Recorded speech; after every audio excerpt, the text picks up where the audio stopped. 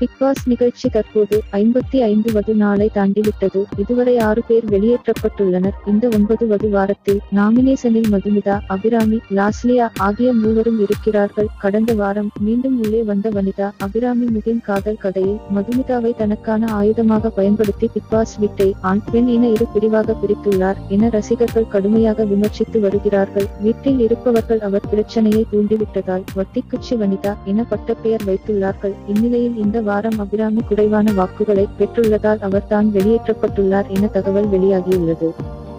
Hi friends welcome நீங்கள் நம்ம சேனலுக்கு புதியவர் என்றால் உடனே கீழே தெரியும் ரெட் கலர் சப்ஸ்கிரைப் பட்டனை அழுத்தி சப்ஸ்கிரைப் பண்ணிக் கொள்ளுங்கள் பக்கத்தில் தெரியும் பெல் பட்டவை பிரஸ் பண்ணிக் கொள்ளுங்கள் அப்பொழுது தான் நாங்கள் அரங்கேற்றம் செய்யும் காட்சிகள் உங்களுக்கு உடனே வந்து சேரும்.